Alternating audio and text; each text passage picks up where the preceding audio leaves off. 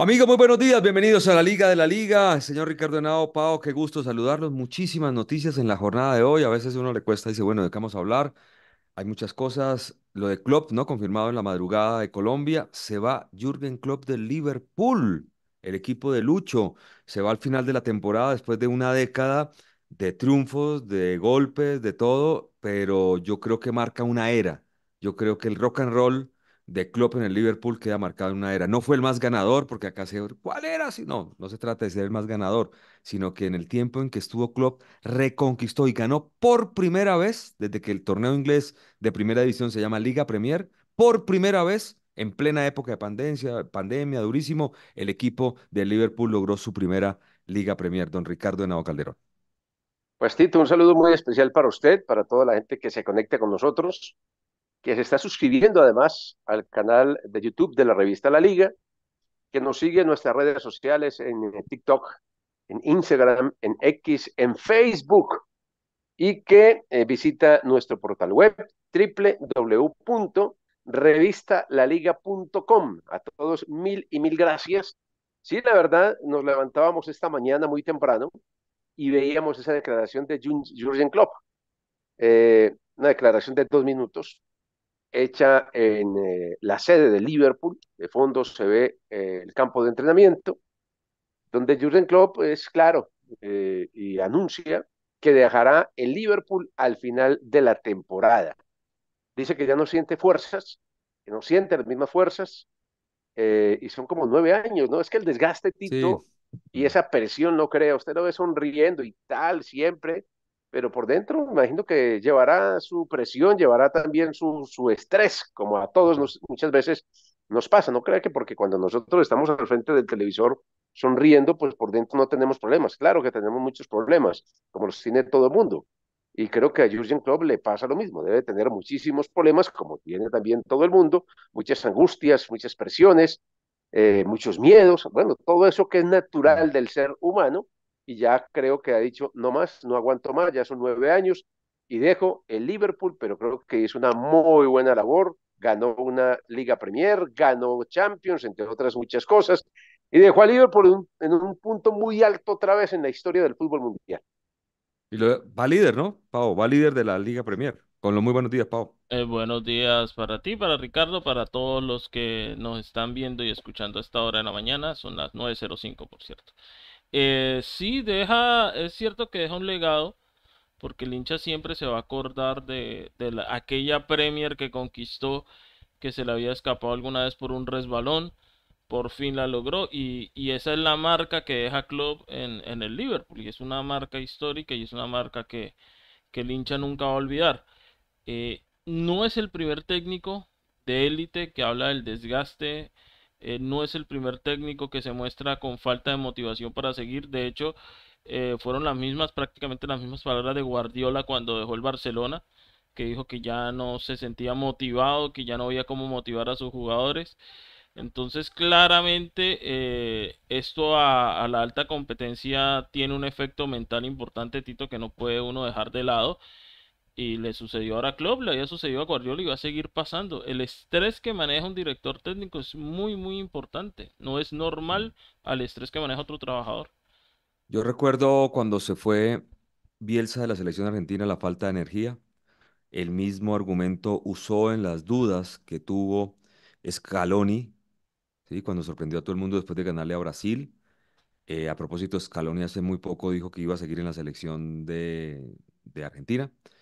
Y, bueno, yo creo que Klopp, a ver, tenemos que hablar de las consecuencias. Klopp fue uno de los que dio el visto bueno para que Lucho Díaz hiciera parte del Liverpool. Rápidamente llegó en esa ventana de invierno, ustedes se acuerdan, y lo puso de titular y lo mandó al, y tuvo un gran apoyo. Ahora, Lucho tiene que aprender a jugar con cualquier técnico. Ya triunfó en Porto con otros técnicos, ¿no? Tampoco tendrá que ser el hijo de Klopp toda la vida, ¿no? Sí, yo creo que es absolutamente claro él fue un beneficiado, en, o sea, enormemente beneficiado, mm. como de esa confianza, de ese cariño que le tomó Jurgen Klopp desde que lo vio y lo quiso llevar a, Liverpool. Siempre lo arropó, siempre lo bancó, siempre lo esperó, siempre le dio confianza, siempre le dio cariño, siempre dio unas buenas muestras de un trato espectacular. que creo que eso es básico para que uno pueda llegar a triunfar en una liga tan difícil, en un medio tan complejo como es el de la Liga Premier. Pero lo que usted dice es cierto, Tito. Uno tiene Sí, que aprender a caminar solito, con el que sea, con el jefe que sea. No hay nada que hacer. Es como cuando a los hijos a uno le dicen, hermano, usted va solito, ya le toca enfrentarse a la vida, le toca empezar a buscar su camino, a hacer su camino. Ya no voy a estar yo aquí todo el tiempo, porque él ha sido como eso, como un papá para, para, por lo menos lo que uno percibe desde afuera, ¿no? Como un papá para Luis Díaz, pero pues es normal. Además, Tito, eh, esa era una condición pero no era pues lo esencial, porque lo esencial de Luis Díaz es su fútbol, su calidad, su condición, y eso se impone ante cualquier cosa. claro, claro, claro, claro, Richie. Eh, Jürgen Klopp, de alguna manera, si uno lo quiere llevar a, a los proyectos, ¿no? Eh, eso es un proyecto, un proceso. Se lo jugaron por Jürgen Klopp. Hubo proyectos en el Liverpool que no funcionaron. Gerard Houllier, un francés que ganó todo con Lyon. El tipo estuvo como 6, 7, 8 años y no ganó nada en Liverpool. Un fracaso total, no sé qué, pero lo siguen intentando. Y por eso cuando a veces hablamos de los famosos procesos y proyectos, tenemos que citar, pues el mayor de todos, es decir, Alex Ferguson, 26 años ganándolo todo, cambió de estrato el United, volvió a ser ese equipo eh, de los 60 y aguantaron. Cua- duró mucho tiempo para que pudiera ganar el primer trofeo eh, Sir Alex Ferguson. Duró mucho tiempo para que Klopp ganara el primer trofeo, Pau. No sé, duró creo que casi cuatro años. Cuatro años. Le costó, le costó muchísimo conseguir. Esa es la falta de paciencia que tiene el, el aficionado colombiano y la prensa colombiana, porque no te- nos tenemos que incluir, ¿no? Entonces yo creo que esto hay que mirarlo con pinzas. Cuando usted le entrega Pero, a un pero hay equipo a una buenas manos, hay que diferencia, tenerle ¿no? Hay paciencia. diferencias, ¿no? O sea, allá cuatro años son cuatro eh, procesos distintos porque es anual. Acá cuatro años son ocho procesos distintos porque es semestral. Aquí el equivalente a lo que trabaja o, o el equivalente a conquistar Pero, lo del club en cuatro años son dos, son la, es la mitad de tiempo porque nuestros dirigentes han decidido que nuestra liga sea de seis meses y eso obliga a los técnicos a conseguir resultados muchísimo más rápido. Sí, sí, pues los famosos torneos cortos, pero, pero los, los técnicos tienen que, y los, los, yo no sé si algún día lo van a entender que, que hay que mirar los grandes ejemplos en el mundo y que se puede Sí, copiar y adaptar, no exactamente igual, pero Pero entonces, pero para que, para que nosotros juzguemos lo de Klopp o lo de otros técnicos a los que les tuvieron paciencia y demás con lo de acá, pues entonces hagamos una liga anual todos contra O todos sea, donde el mejor ca- consiga no, los no, no, no, no, título y Pau, eso no porque, va a pero pasar. no, no, no, Pau, no, Pau, es que, o sea que usted cree que los equipos tienen que ganar todo, todo, todos los días, todos los No, torneos, no lo gana no, nadie, no, pero acá se nadie. obliga a conseguir Eso los es mentira. resultados muchísimo más rápido y aquí, Eso es mira, mentira porque bueno, pero Millonarios, déjame Millonarios duró idea, tres años sin favor. ganar nada, Pau. Es que Pero esa es la déjame, gran mentira que pero, nos pero, meten. pero si no me dejas redondear la idea, no puedo terminar el concepto y ahí tú decir si es mentira o claro. no. Acá a los técnicos se les obliga a conseguir los resultados mucho más ¿Quién? rápidos.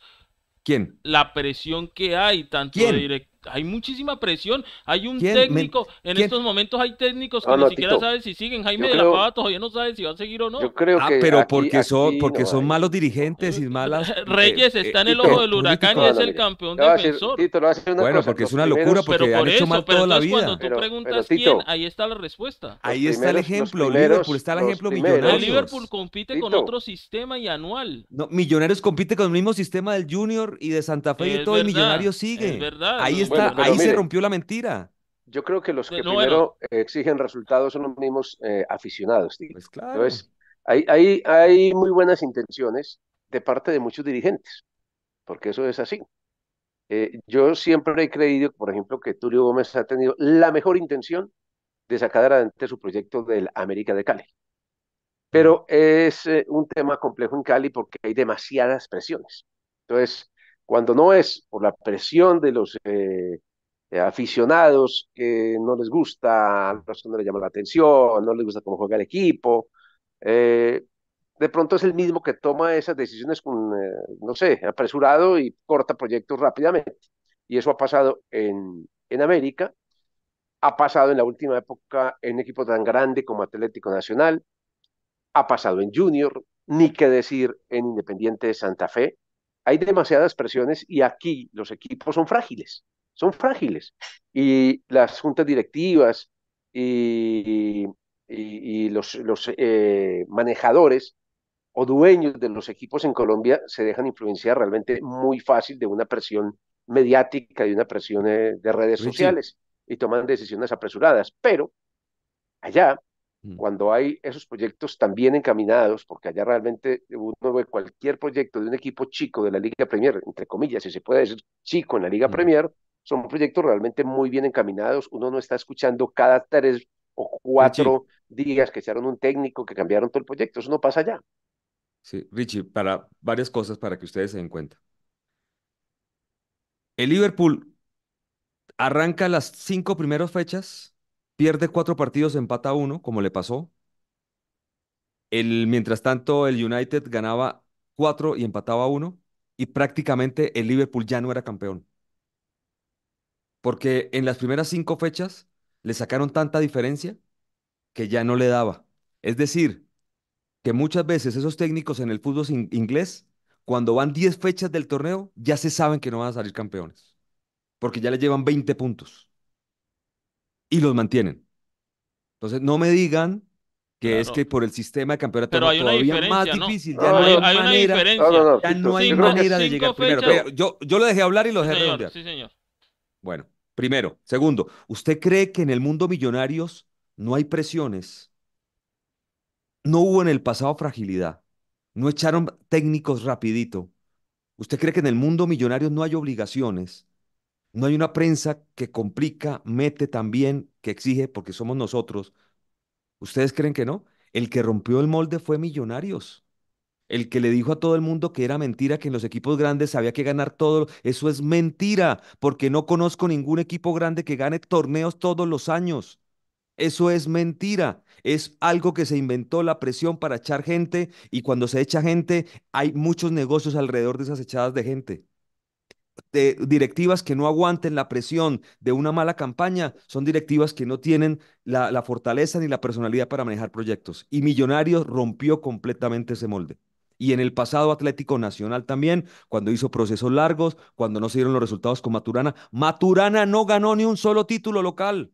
Maturana cuando gana en el año 89 había, venía aparentemente de dos fracasos. Nacional también demostró por allá al final de los 80 que cuando se tiene personalidad y Otro se crea en un Nacional. proyecto, se puede mantener cuerpos técnicos y proyectos sin títulos. Bueno, Entonces- era, Bueno, era pero mire, otro yo, yo- nacional, yo- nacional no era el de yo hoy no, en el, no en el estoy, claro, yo no 87, estoy en 88. contra de, yo no estoy en contra de, de todos esos procesos y todo eso me parece maravilloso, pero eso es la excepción a la regla en nuestro medio. O sea, lo que ha de hecho acuerdo. Millonarios es la excepción a la regla. Eso no pasa. Lastimosamente. Y, y, y creo que son pocos, pocos los equipos en Sudamérica que mantienen procesos de cuatro años con un mismo entrenador. Eso es casi, yo quisiera, o sea, yo no, no tengo la información, no la tengo, Eh, pero quisiera saber cuántos equipos en Sudamérica, es más, en Latinoamérica, tienen un técnico durante cuatro años. Bueno, acá tenemos el ejemplo más claro que es Alexis García y no ha conseguido ganar la liga con equidad en todo ese tiempo. Sí, pero digamos que es otro tipo de, es otro tipo de También es verdad, también Eh, es verdad. Otro tipo de equipo, otro tipo de responsabilidades, otro, otro tipo de presiones, otro Ujú. tipo de negocio. Total, es diferente, Mm. totalmente diferente. Pero digamos un equipo que tenga eh, aspiraciones de título, obligaciones de título, no aspiraciones, porque todos quieren ser campeones, pero que tengan obligaciones de título.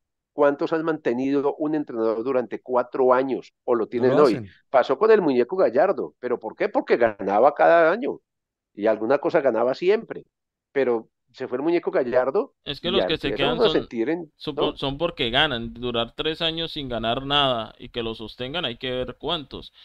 Toda generalidad tiene una excepción. Eso, está clarísimo. Las generalidades eh, también, también incluyen las excepciones, porque si no, no serían excepciones. Aquí la generalidad no es lo de Millonarios, Millonarios es la excepción, por eso estoy de acuerdo con Ricardo. Y el ejemplo que ponía Tito de las cinco primeras fechas en Inglaterra y demás, es que las cinco primeras fechas en Inglaterra representa el 13% de la competición en general, o sea, tienes todavía un 87% para recuperarte. Aquí cinco fechas representa el 25% de la competición, una cuarta parte. Por eso es que sí influye el formato que nosotros tenemos acá en relación al que se juega allá. Te puedo, puedo mostrar, te puedo mostrar la casa de apuestas, búscalo, cuánto paga que el Chelsea salga campeón. Chelsea ya no sale campeón. Chelsea, desde los, desde octubre se sabía que no salía campeón. Chelsea, uno de los grandes del Big Six, que le metió todo el billete del mundo con Pochettino a la cabeza, en las cinco primeras fechas se sabía que no iba a salir campeón. ¿Qué hubiera pasado en otro lugar? Acá echan a Pochettino. Pochettino lo mantienen, allá hay otras ligas, otras competencias, digo, y está metido en la final de la Copa de la Liga contra el Liverpool precisamente. Entonces, son proyectos, y eso que el Chelsea es el antiejemplo de Inglaterra, donde echan técnicos en peores momentos, parecía manejado por latinos cuando estaban los rusos al mando.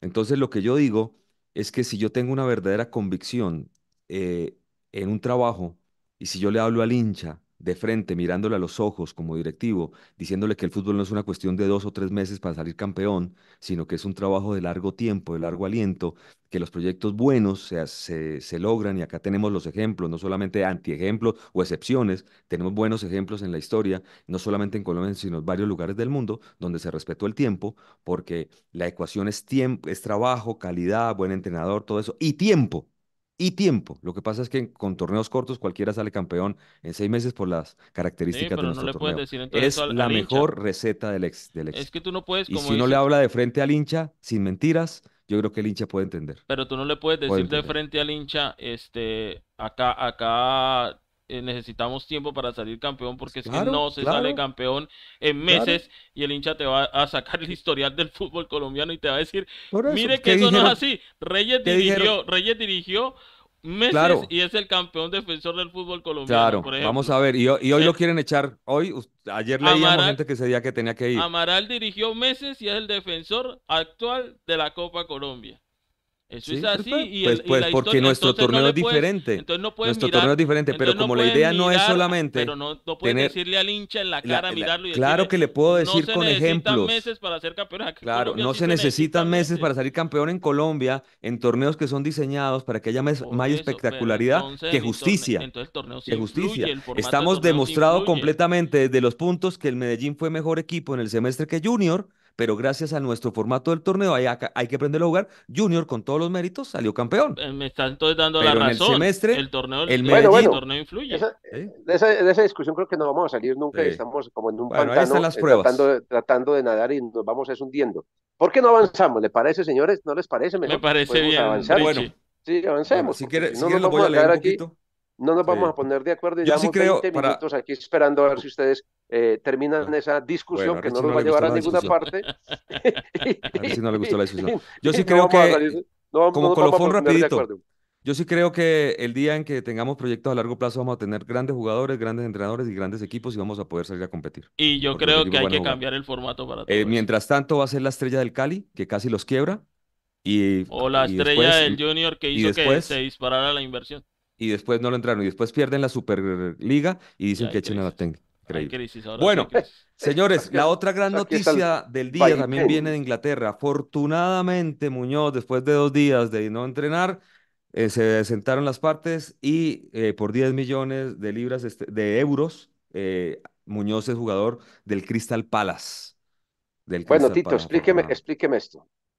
Mm, Eh, está demostrado que los jugadores tienen las herramientas para presionar una negociación.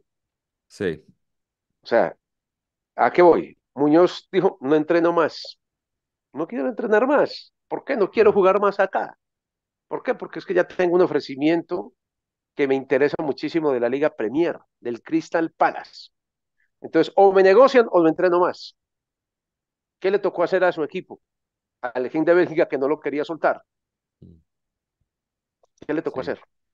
Claro, el negociar jugador, con el club para, para a negociar. y pero está mal, pero está mal, me parece a mí, desde el punto de vista Sí, ético, pero, pero es que porque, eso ¿sabe ya es, qué, ese ya es el, Tito, ese ya es el modus operandi. ¿Qué pasó con el pelado de, de Nacional que se fue a, a España, a. Solís? Fue Claro, ahí, exactamente lo mismo. ¿cuál es la diferencia? La cantidad de contrato. ¿Cuál? ¿Por qué, por qué Álvaro Montero no le quedaría nada bien y no lo va a hacer?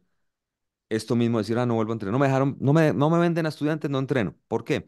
Porque Álvaro Montero hace muy poco le hicieron un muy buen contrato de tres años. Muñoz tenía un año y medio más de contrato. No es poco, pero no es mucho. Entonces, la teoría de la gente que maneja Muñoz dice, ah, si usted creía tanto en el jugador, ¿por qué no me le alargó cuando faltaban dos años, no me le alargó un contrato un año más y me le subió el sueldo?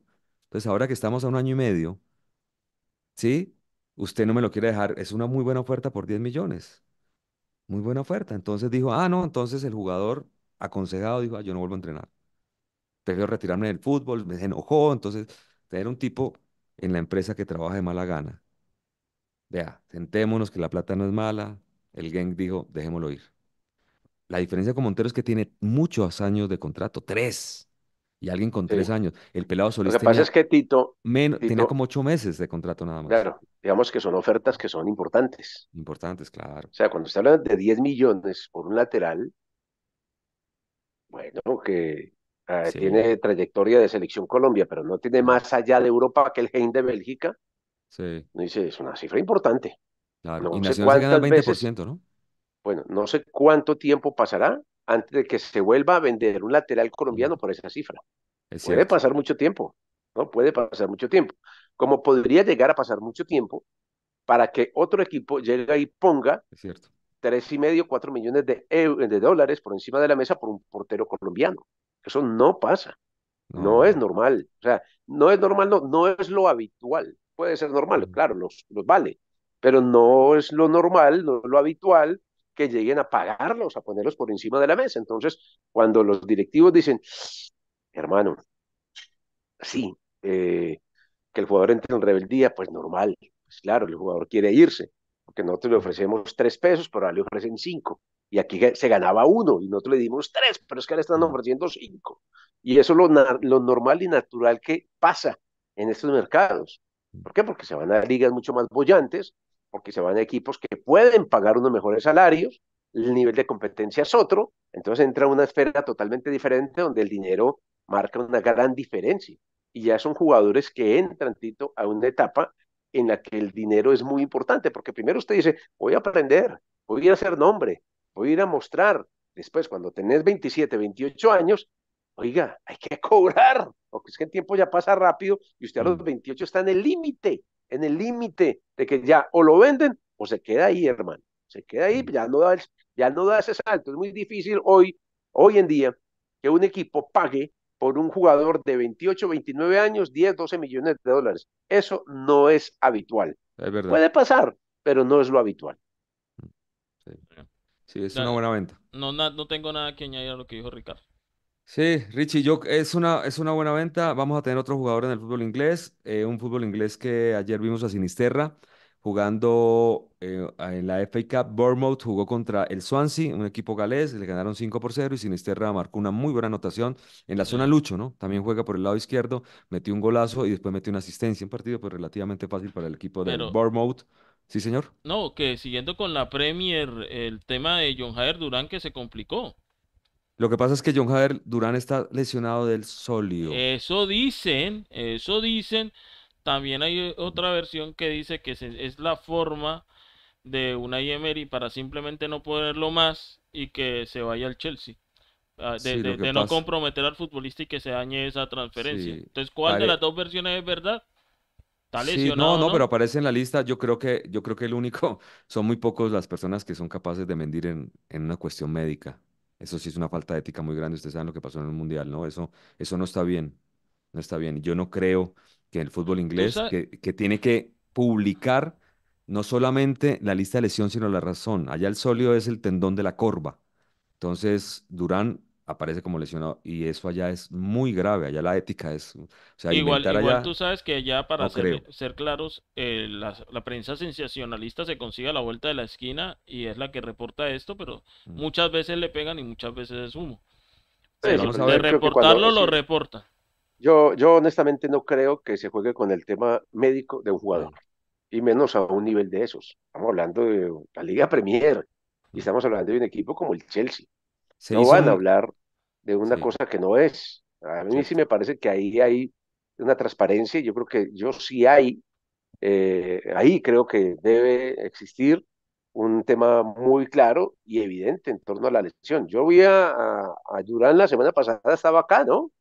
Estaba acá, Estuvo una semana en Envigado, sí, lo entrevistamos en, en Win Sports. Sus Eh, Julián. Céspedes Julián Céspedes lo entrevistó, nunca habló de una lesión, nunca habló de una lesión, nunca habló de absolutamente nada, habló incluso de la posibilidad de ir al Chelsea, eh, pues dijo que le gustaría, que era un equipo grande, pues a cualquiera le preguntan eso y pues, pues claro que sí, es, es apenas normal. un jugador a los 19 años, 20 años, le pregunten por el Chelsea y diga, sí, sí, a mí sí me gustaría ir al Chelsea, un equipo grande. Pero pues de eso, a que se esté haciendo la negociación o que sea absolutamente cierto, pues hay un paso. Como también hay un paso en el hecho de decir, es que no va porque es que están fingiendo una lesión o lo quieren parar porque están diciendo que está lesionado, quieren dañar ese negocio. No lo creo. Sí, hay una, ah, lo que sé es una lesión muy, muy importante, que esta sí está conforma, eh, confirmadísima, que es que se pierde el resto de la temporada Catalina Pérez, que es la portera titular de la selección sí, Colombia. se le rompió el ligamento, pobrecita. Esa es la mala noticia del fútbol femenino, esa tremenda arquera, y la muy buena noticia para no descuidar el fútbol inglés y ya meternos en el fútbol colombiano, esa, es que esa el es una de Mayra, Tito, esa noticia de Catalina Pérez es una, es una noticia muy mala, mala, muy claro, mala, porque le quiero, le quiero decir una cosa. Entre la primera y segunda portera de Selección Colombia hay una distancia enorme, muy, muy grande, muy, muy grande. Y saber que no vamos a tener a Catalina Pérez en los Juegos Olímpicos es una noticia muy mala, malísima para nuestra selección. O sea, si algo teníamos nosotros eh, tranquilidad con la selección femenina, es porque teníamos una gran portera. Catalina Pérez es una tremenda portera, tremenda portera, estaba en la Bundesliga. Eh, y saber que no va a poder contar con ella el técnico en los Juegos Olímpicos es una baja tremenda, es una gran baja. Es mucho, mucho más Catalina Pérez, ¿no? Que la, ujú. que la suplente. Hay una Es- hay una diferencia muy, muy muy grande, grande, muy grande, muy muy grande. grande. La, bu- la buena noticia, Richie, es que fue anunciada hoy oficialmente Mayra Ramírez como nueva delantera del Chelsea, 450 mil euros más 500 mil en variables. Se convierte en la jugadora más cara en la historia, ¿no? Sí, señor. escuché. Sí, señor. En, en Sí, la sí, sí, historia de nuestro fútbol, en la historia del Levante, en la historia de la Premier leyendo que League. es, que es la tercera transferencia más costosa en la historia del fútbol femenino, Sí, ¿no? sí, La no. eh, tercera transferencia más costosa en el fútbol y quieren, y femenino. quieren que les diga algo, los vale. Porque en el No, fútbol es femenino que no consigue una jugadora así. ¿Qué jugadora? le digo, un- le Mm, digo una cosa, ¿Qué jugadora? Le falta gol jugadora, jugadora y Mayra Ramírez. Uy, sí, Yo la insisto, y, ya Es, lo he dicho acá, es que a. Mayra lo que le ha faltado es prensa, lo que le ha faltado es Mm, marketing, mm, todo lo que usted quiera, Sí. ¿Qué porque jugadora? tremenda jugadora sí es, y sí le ha faltado un poco de gol, eh, también es cierto, en eso eh, coincido, pero jugadora, Mayra Ramírez, Y tremenda jugadora puede de mejorar fútbol, en eso. Mm, Y, en Sí. ver- y allá la van a mejorar, estoy seguro. ¿Sabe- ¿Sabes qué otro Tremendo. 9 va a cambiar de club? Y va a ser el reemplazo, o suena, perdón, para ser el reemplazo de Benzema, Mateo Casierro. Bueno, ¿qué pasa con Benzema? Eh, bueno, Mateo Sierra lo preguntaron por Sevilla también, ¿no? Sí, señor. Sevilla que, Dos que equipos eliminado. árabes y Sevilla. Sí, sí, sí, Mateo Casierra. Vamos a ver, me, encantaría que cambiara porque, porque esa liga rusa donde fue Kevin Castaño es una liga competitiva, buena. El país está, ustedes saben la situación geopolítica que está viviendo, de seguridad, de todo eso. Primero. Segundo, pasa algo curioso con la liga rusa. Eh, hay jugadores que bajan su nivel y los que suben su nivel, pues no, no son tenidos en cuenta para, por lo menos para la titular de la selección Colombia. ¿Sí se han dado cuenta de eso?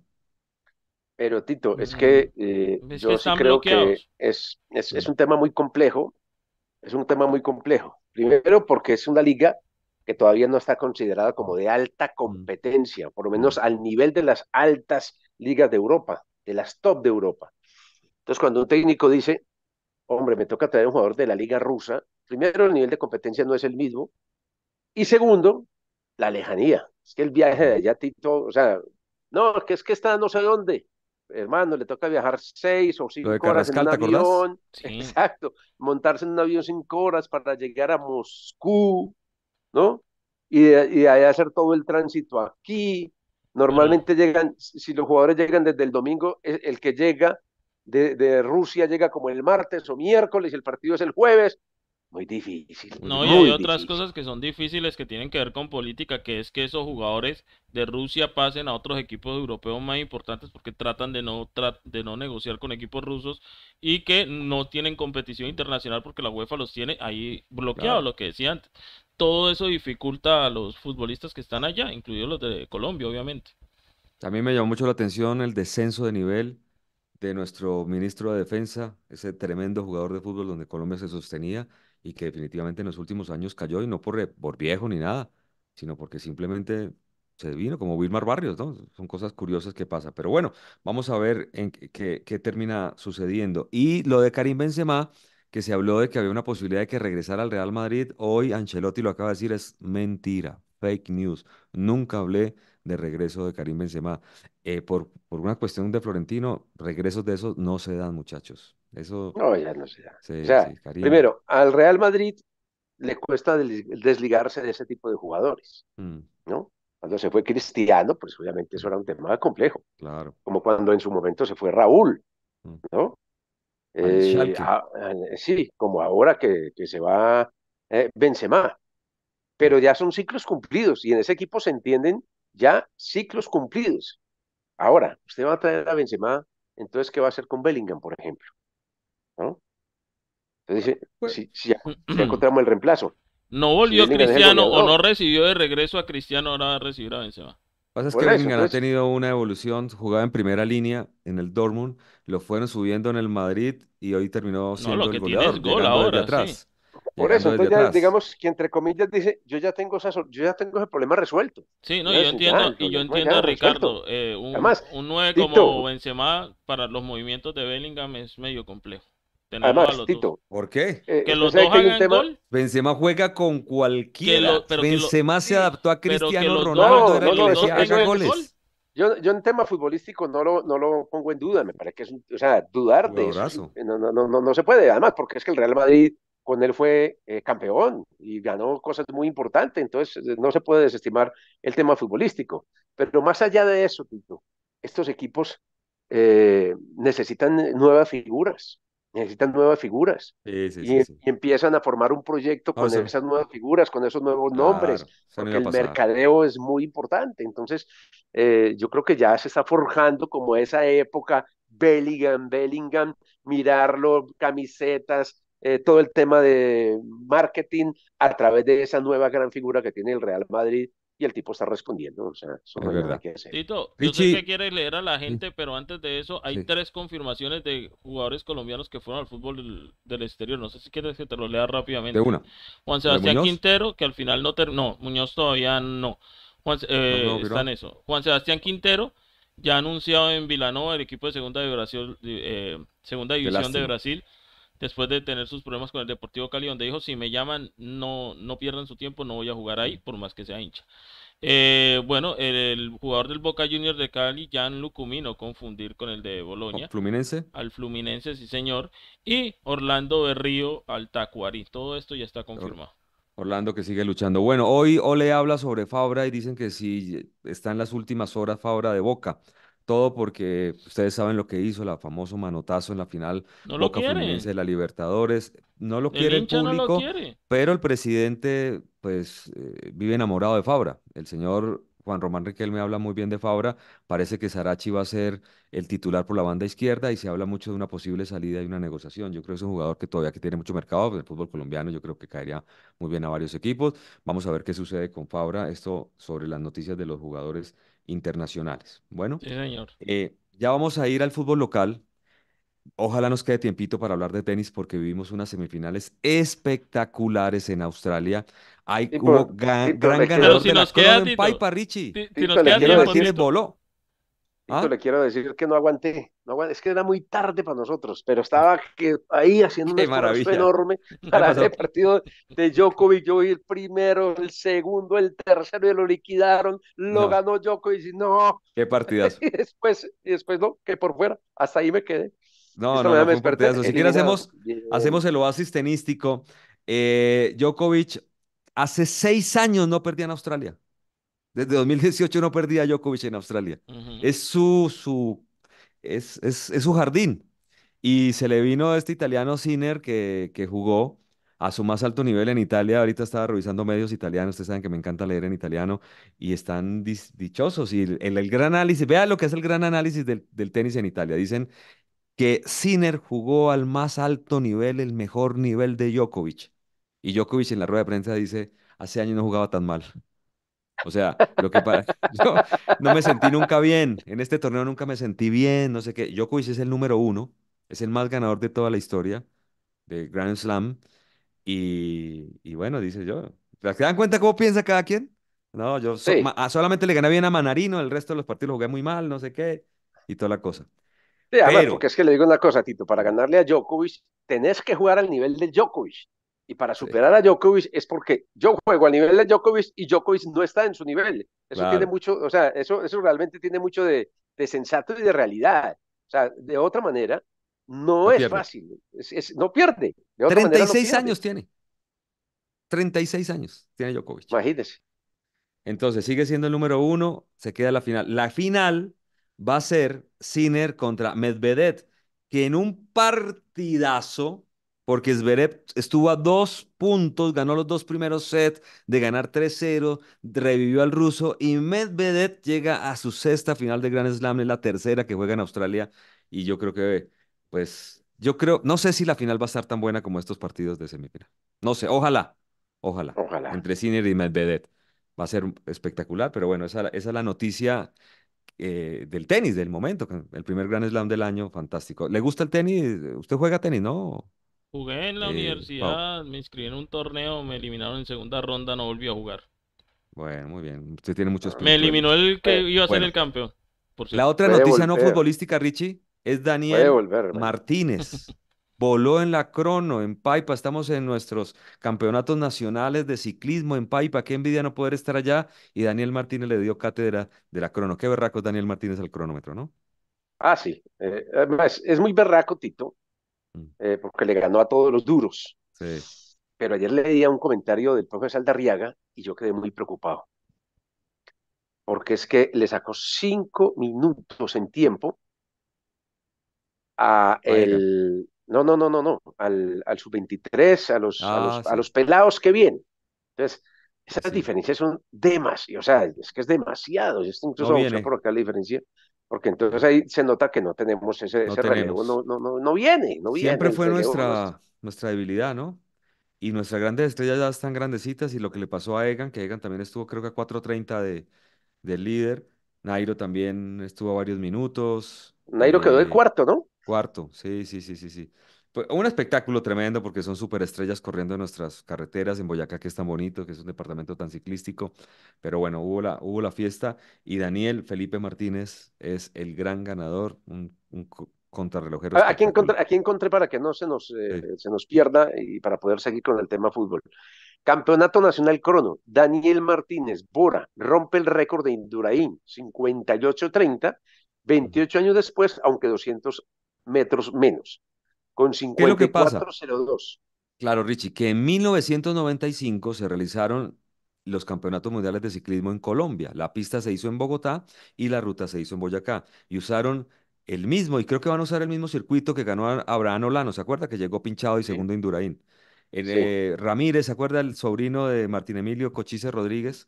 Eh, fue cuarto en esa crono, que fue la mejor participación de Colombia, pero la ganó obviamente el gran Indurain que nos dio caldo y sopa acá en, en esos Bueno, mundiales de 1995. ayer Daniel Martínez hizo un tiempo de 54-02, Mm. rodó a 46 kilómetros 400 metros Es en promedio. bueno, es muy Sí, bueno. con menos, mire lo que dice el profe Saldarriaga, Mm, con menos área frontal, ¿no? Y mm, más avance tecnológico, claro, porque las Claro. bicicletas han, han cambiado muchísimo. Pero mm, esto es lo que a mí me preocupa. Nuestro mejor sub-23, que sub-23 estamos hablando de ciclistas profesionales, queda a 5 minutos 14 segundos del mejor élite. 5-14. Está muy Eso es lejos, demasiado, ¿no? está muy Dice, lejos. lejos, falta de procesos, es lo que recalca el técnico Luis Fernando trabajando y a este hombre yo sí le creo. Sí, es un crack, un crack. Bueno, Ricardo Salazar dice muy buenos días, muchachos. Saludos a ustedes eh, desde Bridgeport, siempre está con nosotros, Estados Unidos. Ricardo Pedraza, buenos días, maestro. John Gaitán, muy buenos días. Saludos de desde Los Ángeles. Andrés Mauricio Aguirre, buenos días. Eh, Tito, Paolo, Richie, saludos desde Miami, mi tierra, Caquetá, es un hombre caqueteño que vive afuera del país, hombre Fabián. Oscar Fabián Gil, saludos desde Bucaramanga. Jonathan Camacho, saludos desde París. Millonarios campeón de la liga, vamos a ver. Luis Valderrama, menos mal que sacaron a Enamorado para haberles ganado con 11 completos. No salga a decir que Millos tenía ventaja, grande Millo. Bueno, siguen recordando los ecos de la Superliga. Ever Estrada, saludos desde Bosconia, Cesar. Qué lindo, la tierra del chicharrón. Me encanta. Y de Alianza ahora. Mucho tiempo mi papá. Sí, señor. Eh, Bosconia, qué lindo. Germán Villalba, amigo, celebrando el título de Millos desde Zaragoza, España. Proceso de Liverpool tardó cuatro años para ganar el primer título, dejando siete trofeos, entre ellos la Champions League. Sí, señor, la que le ganó al Tottenham. Alejandro García, buenos días, señores. Un saludo especial a esas personas que luchan por apagar los diferentes incendios. Sí, señor, a nuestros bomberos que les sacaron platica del presupuesto y siguen luchando. Increíblemente en algunas zonas del país los agreden. Dios mío, eso no puede pasar. Por favor. Perdimos a Ricardo. se fue, indignado. Sí, fue indignado. Smith, buenos días, señores de la revista La Liga Grande Smith. Juan Pablo Álvarez, saludos. Mire, Juan Pablo Álvarez, yo quiere que le diga Lomas Turba, Diego Norrea, Mónica Galindo. Si quiere, se las digo todas. Y ya. Y ya. Hacemos un programa especial diciendo de puros nombres. Las quiere que le diga las tenis rojas del Totazo, Elber Gómez Torba. Dígame todos y se las digo. Esto lo va a poner en Twitter. Esto lo va a poner en Twitter. Listo. ¿Ya? Pero poner ahorita lo más turbo, hermano, eso ya está más viejo. No, Juan Pablo. Bueno, Juan Pablo Álvarez, un saludo, hermano. Eh, eh Gisac Jerim Rey, buenos días. Don Tito, Pao, Dios los guarde. Andrés Mosquera, América le escribió a Jurgen Klopp, atención que no... sí. Tiene razón, Mosquera. Dios mío. Fútbol champán, Juan Felipe va a regañar a Paula por estar acá, no. Para nada, para nada. Juan Felipe también tiene sus, sus proyectos y yo tengo los Somos amigos con Juanfe. yo hablé con Juan. Todos una gran familia. Carlos Leandro, además un día esto voy a volver a hablemos del juego. Carlos Leandro Ramírez dice, lindo seri, no sé qué quiere decir. María Lu Jiménez, saludos desde Ohio. ¿Por qué está en Ohio conmigo? Será el chiste viejo de los 80. Héctor José Perdomo, ¿debería las directivas de Millos a anexar los videos de las fallas garrafales del árbitro Roldán y que se haga justicia. Yo quiero aclarar algo acá. Nosotros estábamos en el post porque hay tanta gente de mala leche, Richie. Entonces yo en el post decía, primero dije, no lo vi porque yo no tenía repetición. Cuando nos lo muestran abajo, yo digo, para mí esa expulsión es roja por imprudencia, zona de contacto, por todo. Lo único que tal vez Roldán analizó, digo yo, en su lógica, es que faltó intensidad. Es la única manera para que no sea roja. De pronto Real dijo, no, no fue tan fuerte, yo la vi, yo estaba ahí cerquita, porque él vio la jugada, él sacó amarilla sin necesidad del bar.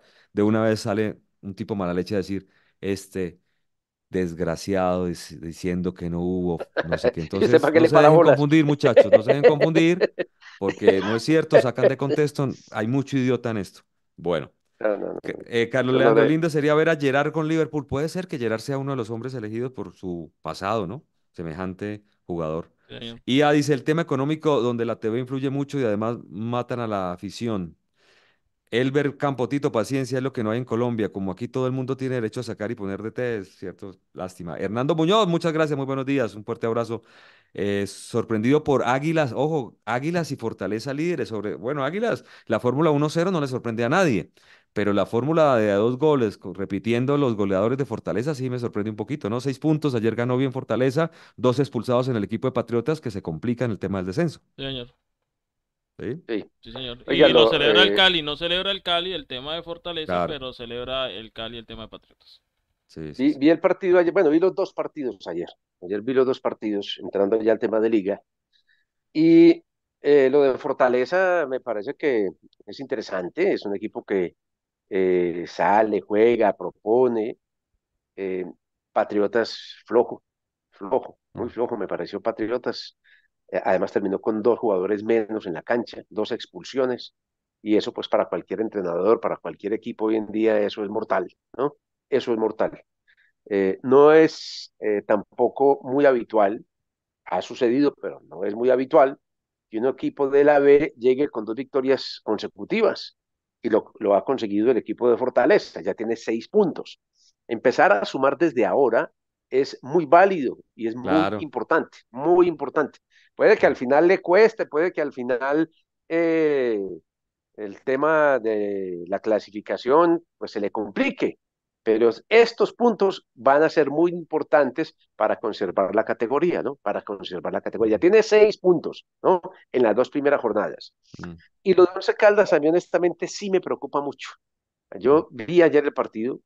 Eh, no es que lo hayan pasado por encima, que mm. haya sido una planadora eh, el equipo de Águilas Doradas, no, eso no pasó. También hay que advertir que volvieron y le expulsaron un jugador al Once Caldas. Eso enfrentar los partidos con uno menos también es muy difícil. Mm. Le pasó en el juego frente a, a Chico, lo terminó ganando porque el fútbol tiene esas cosas, pero ayer, obviamente, el equipo se resintió. Batalló, luchó hasta el final, eh, le costó, pero no tenía muchas herramientas como para pensar en que eh, iba a empatar el partido. Yo la verdad no veía por dónde, no, no tuvo grandes opciones, así salvadas, espectaculares, intervenciones de Dairo, no, muy poco, muy poco la verdad. No le vi mucho, no le veo mucho. Se defiende muy bien, Rich. No le veo mucho al equipo. Y yo creo que va a ser. dos partidos, ¿cuánto le han generado a Águilas? los dos partidos de Bolillo, ¿cuántas opciones reales le han generado a Águilas? Muy pocas, mucho merodeo, pero, pero... ¿Cuántas veces pisan el área?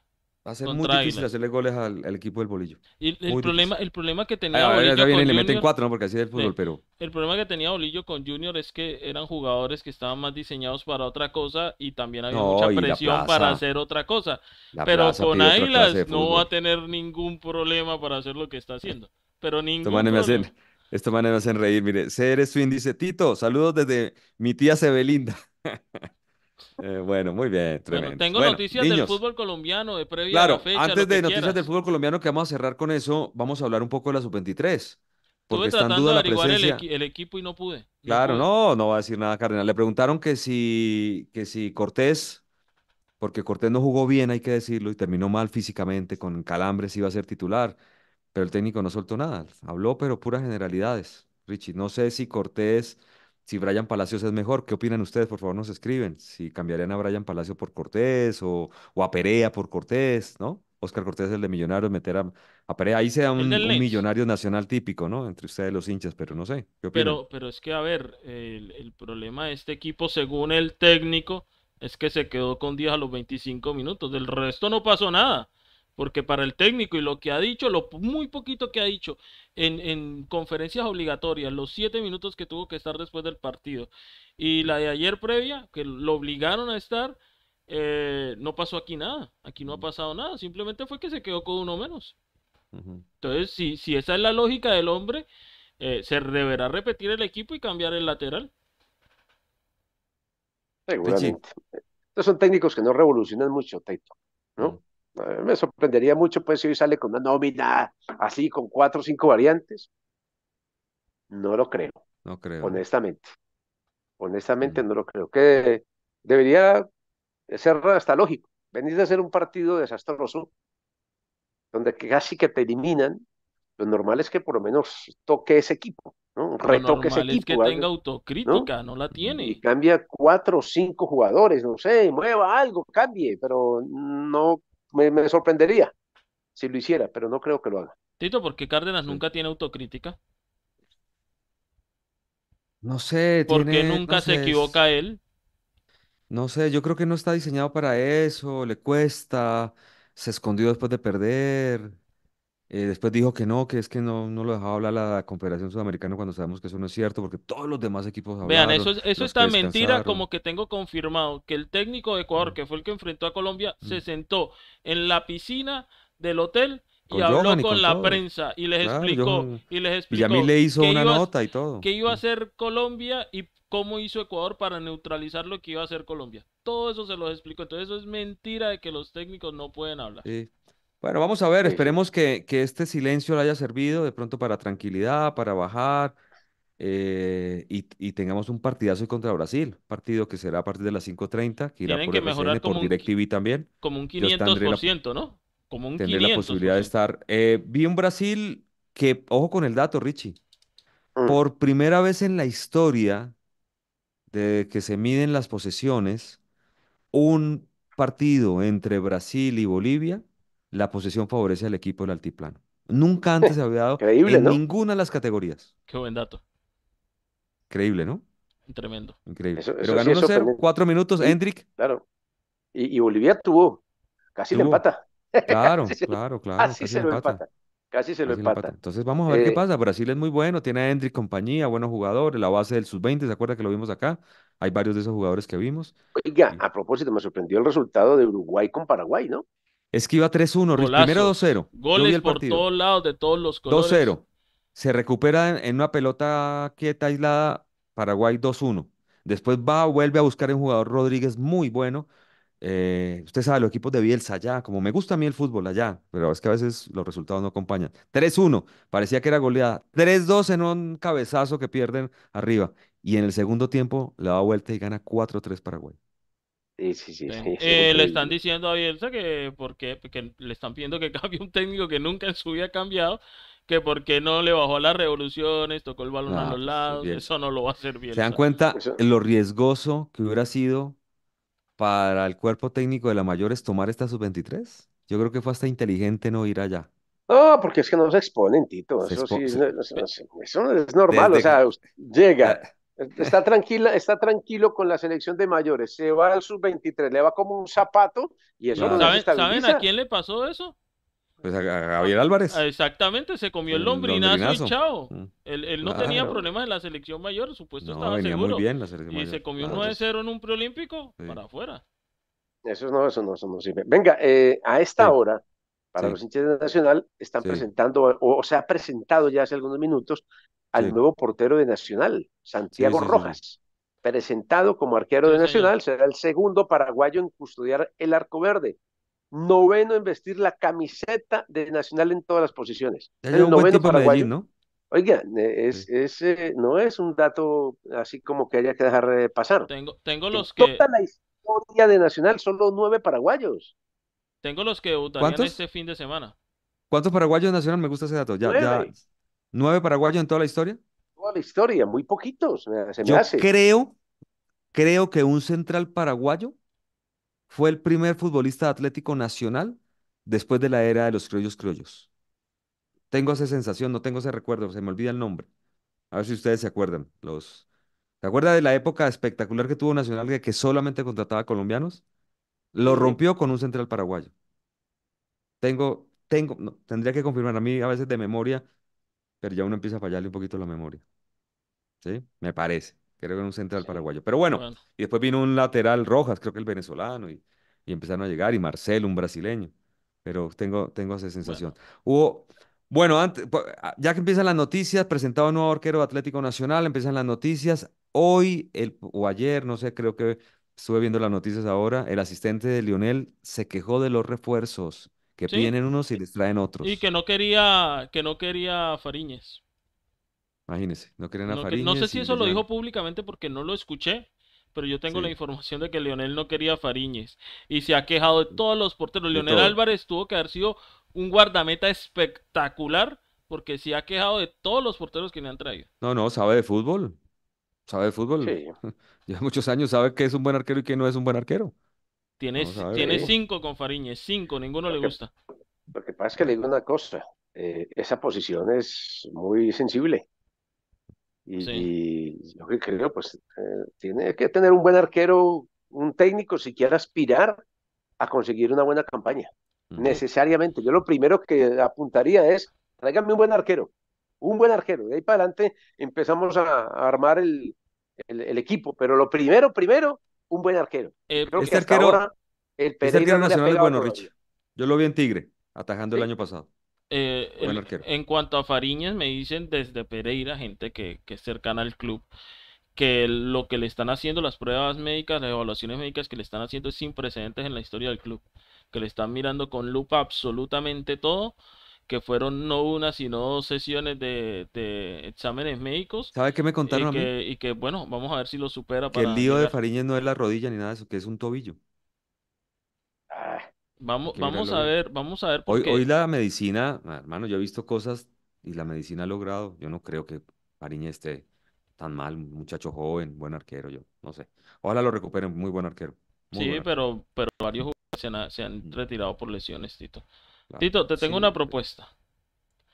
La propuesta es la siguiente. ¿Qué tal si voy en orden cronológico? Vamos, Exacto, en orden cronológico de cómo se va a desarrollar la fecha Dale. y, y vamos a ir mirando. Bueno, Pasto Tolima es un partido que se juega eh, hoy, que es el que abre la jornada de hoy. Brian Rovira por el Tolima ya está presentado, lo presentaron sin ningún inconveniente. Tolima va a presentar eh, novedades en la convocatoria. No va el portero Neto Volpi, pero sí regresan César Jairar y Mar- Va a jugar, Torres. va a jugar eh, Erazo. No, no, no, no, señor. A mí me dijeron que va. no, no viajaba porque lo van a va. cuidar, porque lo van a cuidar por la oferta que hizo Vélez. Erazo, hasta donde yo entiendo, no viaja a Pasto. Mm, No viaja a Pasto por la oferta que hizo Vélez. Esa es otra de las noticias en Tolima. Por el lado del Pasto, nada, Santiago Treyes podría jugar Tito después de estar en la Pasto, primera, ¿no? segunda y tercera división de Brasil. Santiago Treyes podría llegar al Deportivo Pasto. Eso. Yo creo que ese cuanto. puede ser un buen refuerzo, ¿sabe? Sí, sí, sí. Allá, allá le fue bien, allá hizo goles. Ya Sí, pasó sí, por ahí. sí. Sí. Bueno. Alianza Petrolera, que ya no es petrolera, es Alianza FC, me tengo que cambiar el chip. Contra Deportivo Cali, bueno, Alianza no han dado nóminas, no sé si va a estar Rangel, no sé si va a estar Sherman, Sherman porque no han dado la convocatoria. Sí sé el tema del Deportivo Cali, que por cierto, y Mayor lo multó con casi 7 millones de pesos por presentarse tarde a la rueda de prensa. Ah, Cosa, Alianza, Alianza se fue a qué ciudad? Valledupar, Valledupar. Valledupar. sí señor. Puede, Eh, puede ser, puede ser Alianza ganadera, ¿no? Eh, le iban a poner Alianza Alianza Vallenata. pero no pudieron ponerle el Valledupar por copyright. Pasa es que Eh, va a haber un grupo vallenato que se llame así, ¿no? Sí, inscrito Seguramente hay un grupo vallenato que se llama Alianza Vallenata. entonces- Es que ante. Conmebol está como Alianza Petrolera, entonces no le pusieron, no le pudieron poner Alianza Valledupar, entonces lo dejaron en Alianza a cortas FC sí acá en Colombia y internacionalmente será Alianza sin el FC, pero aparece en el registro de Conmebol como Alianza Petrolera, así clasificó, así se mantiene. Eh, Fabián Castillo sí va a viajar a Valledupar, eso sí lo, lo pude confirmar. Eh, no va a estar es Julián Gómez, Harlan Barrera tampoco va a estar, Kelvin Osorio sí va a viajar a la, a la ciudad eh, vallenata. ¿Y Siguiente Castillo. Castillo viaja, sí señor, Ya, y seguramente vaya a debutar. Eh, bueno, eh, Santa Fe Envigado no tengo grandes noticias, de Jaguares Equidad tampoco. Eh, Medellín Pereira, ya sabemos que Chunga fuera cuatro meses y le, le acabaron el contrato a Deiner Quiñones. De hecho, tengo, tengo el club al que Deiner Quiñones va a ir. Pero ni el jugador quería estar en el Medellín y el Medellín tampoco tenía mucho interés en retenerlo, así que los dos partes llegaron a un acuerdo para salir. Eh, Chico Junior, lo de Rafa Pérez, eh, la inscripción depende de la AFA, la Federación del Fútbol, Asociación eh, de Fútbol Argentino, de que de- del ok de la transferencia de San Lorenzo, que ya la aceptó al Junior de Barranquilla, es un clic y cuando ese clic se dé, Junior lo podrá inscribir y podrá jugar. Entonces la demora es de la AFA, de pronto ya hizo ese clic, ese clic y, y en- durante este programa no lo sé, porque en Argentina hay dos horas más adelante. Eh, el, el 11 lo tengo. Va a ser un once bien alterno. Jefferson Martínez en el arco, por la derecha Jefferson Moreno, Rafa Pérez y puede jugar con Howell Mena, Edwin Herrera por la izquierda. En el medio sigue insistiendo con Leider Berrío, su pareja va a ser Fabián Cantillo. Y los cuatro en punta, Cariaco González, Roberto Hinojosa, Brian Castrillón y Carlos Bueno, Vaca, que arrancó como Qué bueno suplente. a, Roberto Hinojosa ya con Ojosa, a ver qué tal, ¿no? Eh, A ver qué tal, jugador. con, con esa camiseta, a ver qué tanto, qué tanto da, ¿no? Sí, señor. Bueno, Sí, sí, sí. Ese es América, muy buen jugador. Bueno, América Nacional, que es el partido prime del fin de semana, sí. eh, ya tienen el transfer de Rodrigo Holgado y Alexis Zapata, ya pueden eh, jugar contra Nacional, será decisión del técnico César Farías, que también debuta, y un muchacho, Juan David Rubio, firmó contrato, contrato profesional. Vamos a ver, no ha debutado nunca como profesional, ha estado en el banco en dos partidos, vamos a ver cómo le va. Del lado de Nacional, eh, Cepelini, hoy lo van a presentar, así como presentaron al. Kili, el portero, pero no, no va a viajar a Cali, es lo que tengo entendido. Y el último Bueno. partido que es Bucaramanga Millonarios, eh, Gamero dijo que sigue buscando un extremo, lo dijo anoche en una entrevista que le Yo hicieron se en los dije ayer. Sí, yo- Yo se los y- dije y ayer. bueno, ya sabemos todos, rechazado del todo la, la Puede ser un oferta, colombiano que juegue en el exterior. Sí, la pista que me y mandaron. rechazado del todo la oferta de Montero, Montero se queda. Y para no dejarlo en el aire, el equipo al que Ahora, Quiñón, Montero la rechaza, ¿sabe por qué? Porque Estudiantes no pone la plata cash. Es que eso Ya es- lo saben. El que quiera negociar, si usted es argentino y quiere negociar con Millonario y quiere llevar un jugador, tiene que pagar todo. Nada de que venga, le pago no, un millón y, y. y creo, y creo que con cualquier equipo colombiano ya todos están advertidos, Sí. ¿no? Todos bueno, están advertidos. Quieren llevarse a Montero, tienen que pagar la plata. Y Montero pues quería, tenía la ilusión de irse, tiene todo el derecho, Ah, pero Tito, si pero no ponen sí. la plata, Tito, yo no estoy vendiendo, Tito, yo no estoy vendiendo mi carro. No, Usted me dice, ¿cuánto vale ese carro? No lo estoy vendiendo. Hermano, yo quiero su carro. mm, Digan, bueno, listo, vale 50 mm, millones. mm, mm. Le doy 30. Es mío, pero me lo fía. Y no jodas. Ah, no jodas, ¿no? sí. No, no, no, Ah, no, no, ahora, ahora también está la otra, ¿no? No lo estoy vendiendo. No, pero te doy 200 millones, lléveselo ya. Sí, Sí, pero, pero dice, pero se los, se- pero se los pago en cinco años. Entonces dice, no, papito, no, no, no. ¿Qué hicieron con negocio- Neymar Yo no sé de negocios, pero ese no me gusta. Ah, ¿Se acuerdan? Eran 122 millones que en ese momento, no, 222 millones que en ese momento era una locura pagar 220, si todavía es una locura, imagínense. Pues no, no está en venta, no está en venta y los cataríes fueron, abonaron a una cuenta la plata para liberar a Neymar. Y cuando les llegó a los del Barcelona los 200 y no sabían qué hacer. Y claro, Neymar, chao, se fue. Fue. Pagaron la cuota, la cláusula de rescisión. Señores, No, un espérate, fuerte abrazo. porque hay Chao, dos jóvenes, noticias, dos noticias del. Once Caldas, Richie. Deiner A ver. Quiñones, eh, eh, al equipo que se va a dar es, es al Once Caldas y seguramente Bueno, Facundo Pitaleche llegue al cuadro blanco. Eso es todo. Bueno, Facundo hacía falta un volante es- bueno ahí. Bueno, pasó por pasto, ¿no? Sí. Chao, chicos. Chao, jóvenes. Chao, Pórtense chao. Que descansen. Feliz fin de semana. Chao, chao. Chao.